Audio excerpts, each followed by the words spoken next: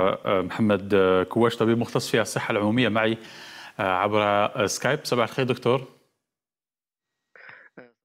أخي مولود صباح الخير لكل متابعي قناة النهار. عيدك مبارك ليك والطاقم العامل معك. شكرا لك دكتور. عيدك مبارك. نبدأ من هذه النقطة الأخيرة التي أشار إليها زميل مصطفى التونسي في تقريره ضرورة التعايش مع هذا الفيروس اليوم هل اليوم يجب أن نأخذ حتى من جانب الاستعداد النفسي أن نتعايش فعلا في حياتنا اليومية مع هذا الفيروس في ظل عدم وجود يعني أخبار مؤكدة حول مدة زمنية معينة للخروج والتخلص من هذا الوباء. أكيد نحن الآن أمام واقع وهو واقع كوفيد 19 هذا الجائحة اللي يجب علينا أن نتأقلم معها ونتعامل معها. هي تتعامل معنا بتحايل وبخبره معينة لأن لها بعض الخاصيات لكن المواطن أو الإنسان يجب عليه كذلك أن يتأقلم معها ويأخذ حذره معها. لأن نحن أمام معطيات متضاربة. من حين اخر هل نوقف الحجر أم نستمر في الحجر؟ الوباء الآن استقرار في عدد الإصابات وعدد الوفيات؟ هذا لا يبشر بالخير لكن يدعونا إلى مزيد من الحيطة والحذر وتأقلمنا معه من خلال الالتزام بالاحتياط. الوعي مطلوب الوعي المطلوب الثقافة الصحية مطلوبة لمواجهة ولضمان استمرار الإنسانية في الفترات المقبلة. من جانب الاستقرار في عدد الإصابات هناك من يعتبر الأمر تقريبا في الأيام القليلة القادمة أو حتى فتره شهر رمضان الكريم يعني تحت 200 حالة يوميا وأقل من 10 حالات وفيات. هل الأمر يدعو للتفاؤل فقط يكون مزيد من الالتزام بإجراءات التباعد وإجراءات الوقاية؟ نقدر إن شاء الله نخفض هذه النسبة ونروح إلى مرحلة التخلص والخروج من هذا الفيروس. أكيد الوضع لا يدعو للتفاؤل بشكل كبير لكن نحن مطالبين الآن إلى خفض العدد يعني خفض العدد يكون فقط بإلتزامنا لأن الحالات المسجلة وما هناك كثير من الحالات هم الآن حاملين للفيروس ولا يدركون الحالة الصحية تاعهم. اذا دعوة دعوة دعوة إلى الالتزام بالإجراءات السلامة إجراءات الوقاية خاصة بوضع الكمامات التي من شأنها أنها توقف انتشار هذا الفيروس لأن قلنا الفيروس ينتشر عن طريق فقاعات الهواء أو فقاعات اللعاب التي تصدر عن الإنسان. اذا نحن نتفائل يعني بشكل إيجابي أكيد أن التفاؤل هو أمر إيجابي ويساهم حتى في رفع المناعة المناعة اللي هي العامل الرئيسي في مواجهة هذا الفيروس.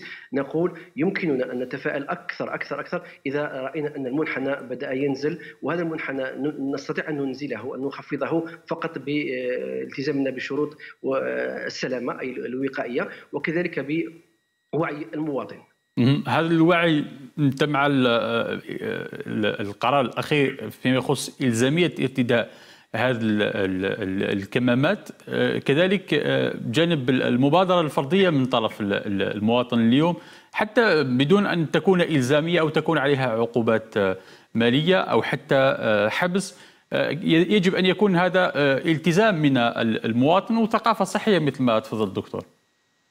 أكيد. نقول أن يجب الإنسان هو ربما ما كاينش واحد يخاف على صحتك كما تخاف أنت على صحتك. هذا الإنسان صحيح. لازم يدركه. كما نقولوا إحنا شكون يبكي عليك؟ نقولوها بالمصطلح العامي شكون يبكي عليك إذا كنت أنت تعرضت لحالة لحالة مرضية؟ إذا أنت أنت اللي لازم تقدر قيمة هذه الروح البشرية اللي اعطاها لك الله عز وجل أنك تحافظ على حياتك. ربما هناك بعض الأخطاء والأمور الشائعة. الكمامة أمر ضروري وإجباري وهو أمر أنا نقول لك فقط لو تشاطرني أخي مولود في السنوات الماضية قبل أن تظهر يظهر كوفيد 19 في الدول الصناعية الكبرى كان استعمال الكمامة أمر يومي وأمر عادي نتيجة التلوث البيئي للحفاظ على صحتهم. الآن نحن أمام وباء عالمي مطالبين كذلك بالحفاظ على حياتنا من خلال استعمال الكمامات. الكمامات هناك بعض الأخطاء المنتشرة. ربما يجب التأكيد عليها. اولا يجب علينا التأكد من مصدر الكمامة. يعني الإنسان اللي يعطيني الكمامة نشوف يعني كما الإنسان كيروح المحل يشري حلويات. طريقة عرض البضاعة طريقة تسليم البضاعة. اذا الكمامة كذلك كيف اللي طاها لي منين جابها كيفاش مدها لي طريقة اللمس تاعو طريقة الحفظ تاعها. هذه كلها أمور خطيرة جدا. يعني يجب أن المواطن أن يحذر. يعني ربما استعمال الكمامة الخاطئ قد يضر بصحته. وحتى أثرت نقطة مهمة دكتور فيما يخص بيع هذه الكمامات خصوصا في الأسواق الفوضوية المنتشرة اليوم. نعم. يعني تعرض بطريقة غير صحيه وحتى مثل ما تفضلت طريقة بيعها أو لمسها من الزبون من البائع إلى الزبون. نقطة مهمة. لكن هل نقول للمواطن اليوم في ظل الغلاء؟ يعني الأسعار الأسعار الكمامات اليوم في بعض المناطق يعني وصلت حتى العادية منها الجراحية آه، سقف 100 دينار والنوعية الجيدة أكثر من 200 دينار وأكثر ربما نوعيات أخرى. آه، هذا الشيء اللي يدفع ربما المواطن يقتني هذه الكمامات القماشية من القطن وغيرها تكون آه، في الأسواق العمومية وبسعر منخفض. أكيد نقول الإنسان المفروض أنه يقتني الكمامة من المصادر الطبية يعني من المستشفى مثلا أو من الصيدليات القانونية. والصيدليات أكيد أن الصيدليات نلجا إليها لأن هو هو المكان الآمن أكثر امانا بالنسبة للكمامات كذلك لماده الصنع حذري ثم حذري وما حنتكلم عليها فيما بعد؟ الاثار الخطيرة لبعض الاستعمال الخاطئ للكمامات والحساسيه المفرطة. نأكد كذلك على نقطة مهمة جدا وهو البديل. المواطن يحتاج يقول لك سبت لي حساسية ما عنديش باش نشريها إلى آخره. ثقافتنا إحنا كمجتمع عربي كمجتمع جزائري كمجتمع إسلامي ما يعرف بالعمامة العمامة اللي كنا نستعملوها وكذلك نشوفوا إخواننا في الجلفة في الغواط في المناطق الصحراوية في إخواننا التوارق عندهم هذاك الطريقة وضع الخمار هذاك على الوجه هذاك وهذا أكثر نقول لك أكثر صحي من الكمامات اللي نقتنيها بشكل عشوائي. واش نقول للمواطن إذا عندك عمامة اغسلها بشكل صحي مليح بللها بشكل وضع فيها شوية رائحة تكون مليحة بللها لأن الماء راح يسمح لك باش تستنشق خاصة إحنا في فترة ارتفاع درجة الحرارة تستنشق هواء رطب.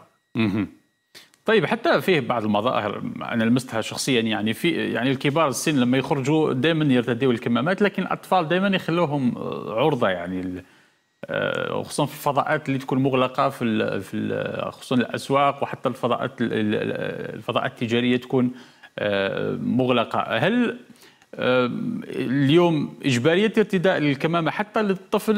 لأنه فيه البعض يقول لك أنه الطفل ما يكونش ما يكونش يعني هذا هذا الفيروس ما يشكلش خطر كبير عليه.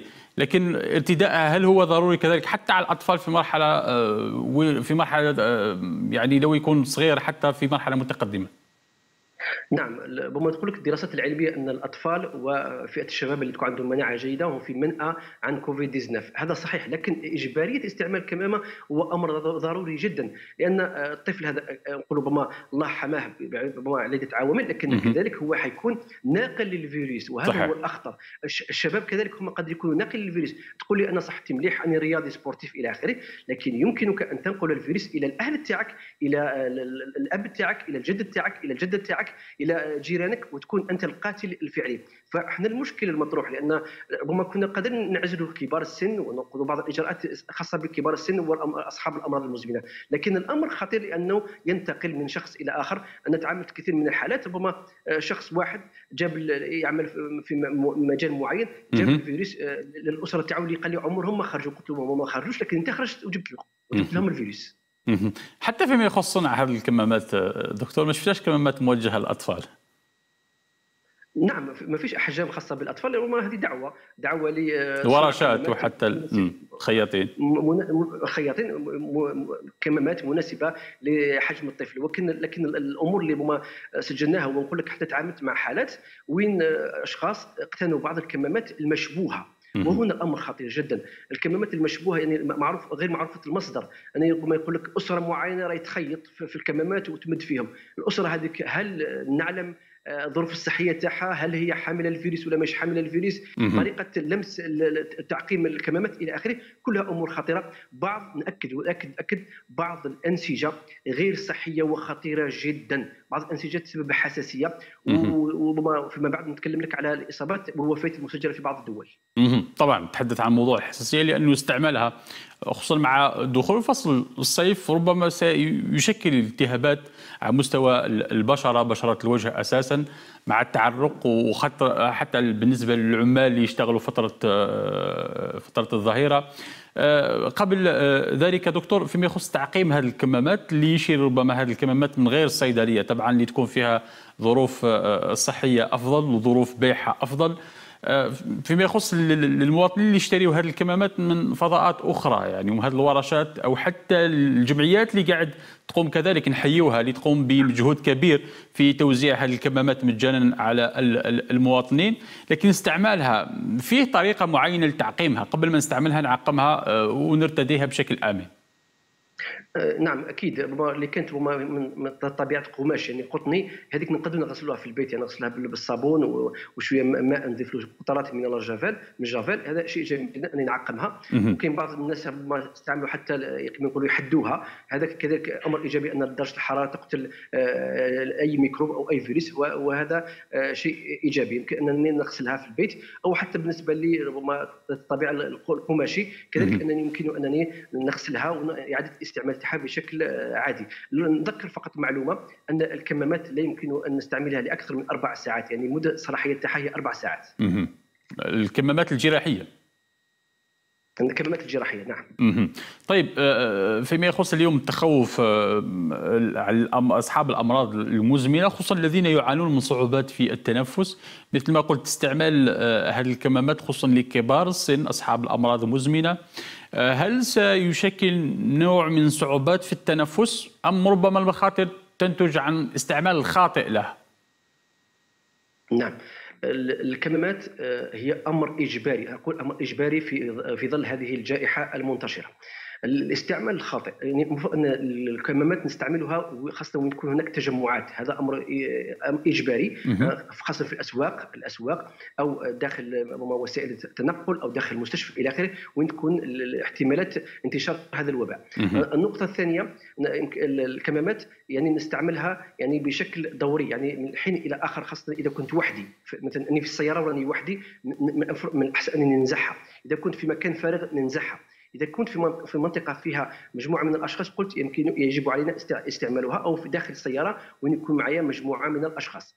الأخطاء المنتشرة أو الخطر المطروح واللي خاصة بالنسبة للأشخاص المصابين بالأمراض المزمنة الاستعمال الكمامة لوقت طويل أو لساعات طويلة واش دير؟ راح تخلي لي نقص في الأكسجين يعني الكمامة تنقص لي من نسبة الأكسجين اللي نستلمها. وانخفاض نسبة الأكسجين في الدماغ والدم يضطر الإنسان إلى الشعور بالأرق التعب والقلق وحالات من الإغماء. ونقول حتى سجلت حالات من الوفيات في الصين عند عداء رياضية. عند طفلين يمارسون في رياضه الكاراتيه يعني اضطروا إلى جهد عضلي وقوة بدنية استعملوها والقوة البدنية والجهد العضلي يحتاج إلى أكبر كم من الأكسجين وبالتالي ما كانوش يستلموا في الأكسجين فتعرضوا لنوبات تنفسية وتوفوا وكذلك حتى هناك ما يعرف بالتمزق الرئوي. النقطة الأخطر الأخطر من ذلك قبل الآن كنت في الطريق قادم إلى العيادة وشاهدت ملاحظه شفت سائق شاحنة وضع الكمامه تخيل هذاك الشخص داخل مقطورة القيادة أي داخل الشاحنة وضع الكمامه لساعات طويلة والأكسجين ناقص وماذا يحدث؟ خاصه الكمامات ذات الصلبة هذيك ذات الحجم الكبير. الإنسان راح يطرح ثاني أكسيد الكربون ال CO2 حيجمع له وهو يطرح السي أو 2 وهذاك السي أو 2 راح يجمع له داخل الكمامة هذيك المقوقعة هذيك ويعاود يستنشق ثاني ثاني أكسيد الكربون وهذا يحدث له اضطرابات في أو في السمع في الرؤية صداع شديد شعور بالأرق شعور بالتعب والشعور بالام في كامل أنحاء الجسم. وحتى من أنت أشرت إلى نقطة أنه يقدر ينزع ينزعها ويستعملها فقط لما يكون في فضاء فيه يعني آه، تجمعات أو أسواق أو آه، محلات تجارية. لكن كذلك طريقة نزعها وحتى شفناها يعني آه، ينزلوا يعني ينزلوها ما أسفل الوجه. كذلك البعض يقول لك أنه ممكن قد تحمل بعض الميكروبات التي تكون نتيجة التعرق والتعرض للشمس وحتى اللي يمشيوا المسافات ربما بعيدة. آه، ربما تحمل فيروسات أخرى يعني. من الأفضل تشوف أنه في طريقة أخرى نزحها نحطها في مكان يكون على الأقل نظيف أفضل من نحطها في السيارة أو تكون عرضة للغبار وغيرها. نعم. هي مليح الإنسان يكون عنده مثلا كيس نظيف كيس نظيف يوضعها فيه أو علبة ورقية. محسن تكون علبة ورقية لأن العلبة الورقية يعني حتمتص l'humidité الرطوبة. اذا خاصة الناس اللي تتعرق هذا أمر خطير جدا. هناك ثاني أكسيد الكربون هناك بكتيريا هناك حرارة هناك رطوبة. كلها عوامل راح تخلي تكاثر للميكروبات وانت تعاود تستنشقها فهذا أمر خطير جدا.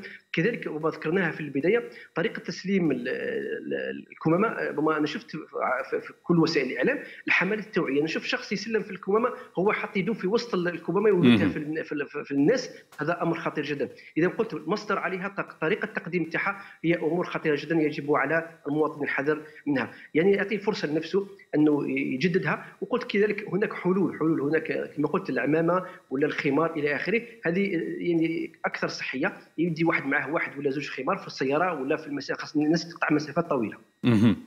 وحتى بالنسبة لكبار السن يعني نقول لهم يجنبوا الخروج فترة فترة لما تكون فيها درجة الحرارة فترة الظهيرة تكون فيها درجة الحرارة آه، مرتفعة خصوصا في المناطق آه، آه، الصحراوية يعني يجنبوا خصوصا اللي عندهم أمراض مزمنة هكذا ربما ما تكونش فيها مضاعفات وصعوبات في التنفس.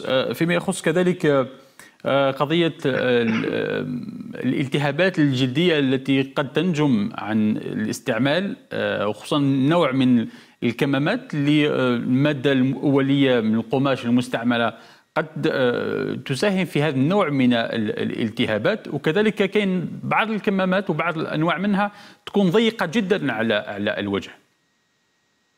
أكيد. وما البشرة الإنسان تختلف. وحساسية الإنسان الحساسية تاع البشر البشرة تختلف من شخص إلى آخر. خاصة الآن قلت لك نحن الآن أمام بعض الكمامات ربما ذات المصدر المشبوه أو القماش اللي غير صحي. اؤكد القماش غير صحي فبالتالي ممكن أنها تسبب تفاعلات مع بشرة الإنسان كذلك ربما الحجم الغير ملائم اللي تضغط على البشرة. هو باش نوضح المشاهد الكريم نقول مثلا كما الواحد يدير له عملية جراحية يوضعوا له ضمادات يعني ضمادات حتى هذاك السبارادرا اللي نديروها تاكل اللحم تاع الإنسان أو البشرة تاع الإنسان تسبب حساسية. نفس الشيء لأن الجسم الإنسان أو وجه الإنسان مش متعود أنه يتلامس مع مادة معينة. تخيل تخلي له ذيك المادة لمدة طويلة أكيد أن البشرة تاع الإنسان راح تتفاعل معها. اذا التعامل بحذر والتعامل بحكمة والتعامل بعقلانية والاستشارة الطبية فيه أطباء فيه صيادلة فيه ممرضين الإنسان يستشر وما خاب من استشار وخصوصا فئه البنات يعني اللي يستعملوا ربما بعض الأنواع من المكياجات مع ارتداء هذه الكمامة قد يعني تزيد تزيد الأمور تعقيد. أكيد ملاحظة في محلها ربما مواد كيميائية ربما بعض المكياج هذاك ربما فيه مواد كيميائية تفاعلها مع العرق مع المادة المصنوع منها أكيد حتسبب مشاكل صحية يجب تجنبها بإجراءات صحية بسيطة. تحدثنا عن نوع الكمامات فيما يخص حتى عدد الطبقات الموجودة التي قد تضمن فعالية آه، تكون جيدة فيما يخص آه، للمواطن. وتحميه من هذا الفيروس كذلك كنصائح بالنسبة آه، اللي يقوموا بخياطة هذه الكمامات في الورشات أو حتى مبادرات فردية من طرف الجمعيات أو حتى آه، أربات البيوت. آه، ما هي النصائح اللي نقولوهم دكتور فيما يخص عدد الطبقات أو حتى عملية التعقيم وحتى الحفظ؟ اولا قضية ربما ننصح الجمعيات اولا مشكورين المتطوعون آه، نسميهم سفراء السلامة سفراء الحياة سفراء الإنسانية. نشكرهم شكر ربما جميل جدا لأنهم يقوموا بالتضحية يبادروا في هذه الأعمال الخيرية الرائعة. اولا يجب عليهم المرافقة الطبية المرافقة الصحية المرافقة التقنية. يجب عليهم اقتناء النسيج المناسب. يعني هذا هو ما نطلبه من وزارة التشغيل وزارة الصحة أن تكون هناك مرافقة. يعني ما نصنعوش ما نبذروش لاننا ربما نصنعوا كمامات الغير صحية. يجب مرافقة نعطي لهم أو نوجههم لاقتناء النسيج المناسب الصحي. هذه من جهة. المشرف على ورشه الإنتاج يجب عليه أن يراقب المتطوعين. إذا كان واحد فيهم يسعل أو عنده مرض مزمن أو مم. عنده مشكل في البشرة أو مشكل تنفسي المفروض أنني نمنعه من الاشتغال. كذلك التحضير تاع هذه الكمامات يكون باستعمال حتى هما يستعملوا الكمامات باش لأنه هما يتكلم يتحدث يمكن أن ينقل لي آه، فيروسات أو ميكروبات عن طريق التنفس. لهذه الكمامات. اذا نقول أن ربما ما فيش اجراء ربما معايير معينة لأن هذه تخضع لمخابر آه، دولية. لكن واش نوجه أن يكون نسيج صحي وتكون إجراءات النظافة الصارمة؟ وضروري تكون فيها طبقات؟ لأنه شفنا كثير بقى هذا النوع من من الكمامات فيه كمامات بسيطة يعني. لا مش بالضرورة تكون طبقات فقط يكون النسيج يكون قطني. هذا هو ناكد النسيج قطني وليس نسيج وما ذات قماش صناعي. القماش الصناعي هو مضر بالصحة ممكن أنه حتى يكون فلتر يسمح بمرور أي ميكروب أو أي فيروس وحتى يسبب في تفاعلات كيميائية خطيرة جدا تأثر على الجهاز التنفسي أي الرئة. طيب آه، فيما يخص الناس اللي آه، عندهم أعراض آه، حساسية أو التهاب على مستوى البشرة. واش نقدر نقول لهم دكتور كنصائح لأنه الاستعمال خصوصا اللي مطالبين باستعمالها نتيجة ظروف عملهم أو حتمية خروجهم من المنزل بشكل يومي. أكيد نقولوا فقط استعمل الكمامات القطنية أو كما قلت البديل هو العمامة ولا الكمامات أو عفوا les foulards هذوك القطنية اللي كنا نستعملهم العائلات بصفة عامة في المجتمع الجزائري. كذلك إذا كانت تسبب له حساسية يستشير يستشير الطبيب. إذا كان اضطر الأمر أن يأخذ des antihistaminiques أي اللي تنقص له في التفاعل الكيميائي لأن كاين بعض الناس حتى الذهب ما يقدرش يستعملوا خاصنا نتكلم على فئة النساء الذهب يسبب يسبب حساسية. وحتى المواد الكيميائيه حتى المواد الكيميائية مثلا بعض الشباب نلقاهم يديروا الجير في شعرهم. نلقى تفاعلات تكون في المكان آه، نزول آه، تلك المواد الكيميائية. إذا نقول أن كل إنسان وعنده طبيعة معينة ما فيش آه، أمر عام لكن استشر الطبيب تاعك استشر الصيدلي. إذا كنت هناك تفاعلات كيميائية مرتبطة باستعمال الكمامة استشر الطبيب. غير الكمامة استعمل استشر الطبيب لما يعطيك مواد كيميائية يعطيك ديبوماد مراهم تساعدك في التعامل معها. كما قلت خاصة بالنسبة للأشخاص اللي مضطرين لاستعمال الكمامات لساعات طويلة. نختم بنقطة أخيرة دكتور. مع الخروج من آه، فترة شهر رمضان كثير من الأشخاص متعودين السهر حتى آه، ساعات آه، الصباح أو حتى السحور.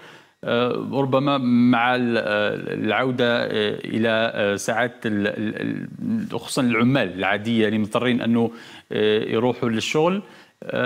ربما يسبب نوع من الاضطرابات في النوم. دكتور واش نقدروا نقولوا لهم لإعادة الحياة البيولوجية على الأقل بشكل سليم؟ إذا ما أخذنا بعين الاعتبار أنه اليوم مع هذا الوضع الصحي الحالي فرض على بعض الناس أنه يسهروا على الأقل الساعات آه، طويلة برغم أنه قد يشكل آه، مخاطر آه، صحية.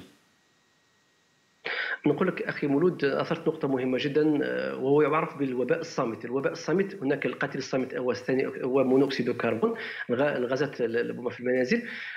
أما الوباء الصامت اللي ربما الآن الناس كثير يجهلوه هو هو قلة النوم، قلة النوم كل ما كما تقول بعض الدراسات والعلماء يقولوا بأن كلما قل نومك قلت حياتك، نعاني الآن كما قلت أخي مولود من اضطرابات في النوم ونحن الآن في الأيام الأولى من خروجنا من شهر رمضان المبارك الذي إن شاء الله فقد يكون الله عز وجل تقبله منا ومن الجميع.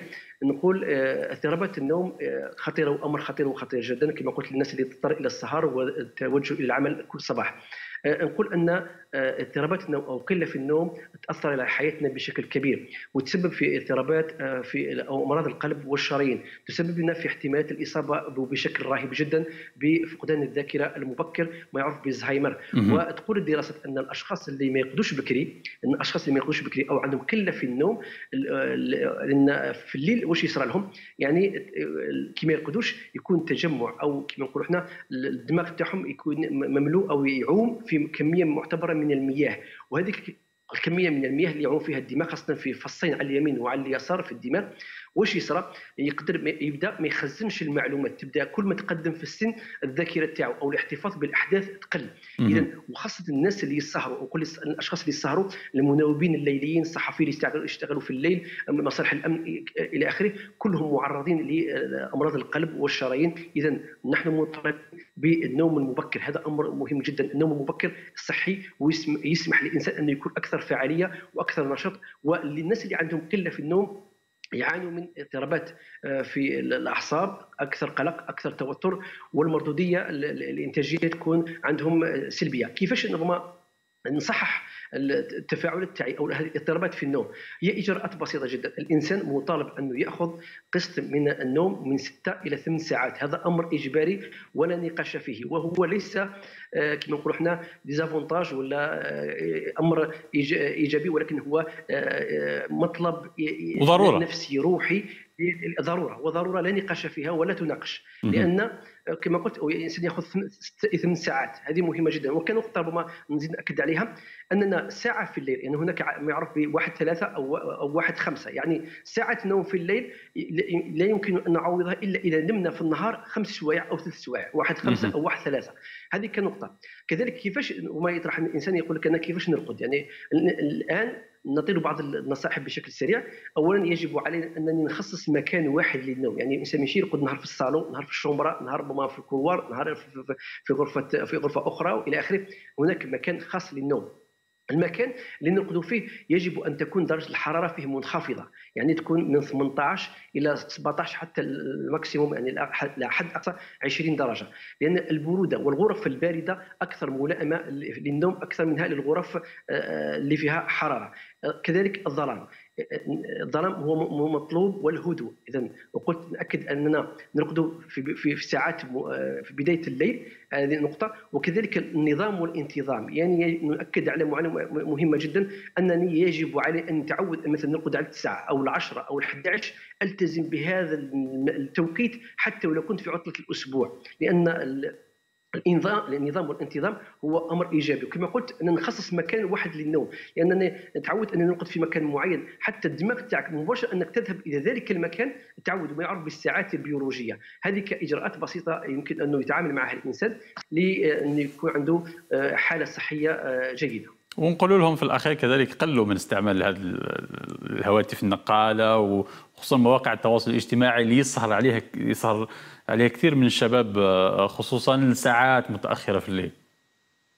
أكيد نقول الوسائل الأجهزة الإلكترونية ننصح المواطن نقول له الحياة قصيرة يعني مهما عاش الحياة قصيرة. والأخطر من ذلك الأجهزة الإلكترونية اللي ما يوضعها من الهاتف النقال أو الطابلات إلى كما ذكرت تكون قريبة من الرأس راح تطرح أو تبعث لنا موجات كهرومغناطيسية. نقول لكم بأنها تسبب في أمراض السرطان. عافاكم الله. إذا نحن مطالبين أن نعيش الحياة نعيش الحياة الحياة بسيطة جدا. عيشوا حياتكم ببساطة. آه، وجعلنا النهار معاشا والليل سباتا. آه، يعني كما يقولوا استمتعوا بالحياة من خلال النوم الصحي. شكرا لك دكتور على كل هذه النصائح وعلى وجودك.